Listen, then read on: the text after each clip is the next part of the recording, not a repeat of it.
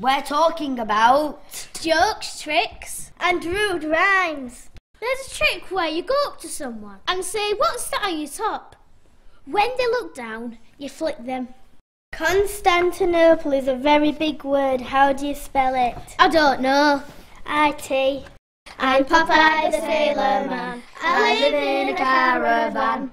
When I go swimming, I kiss all the women. I'm Popeye the Sailor Man. Beep beep. Jingle bells, Batman smells, Robin flew away. The Batmobile lost his wheel on the motorway. Hey!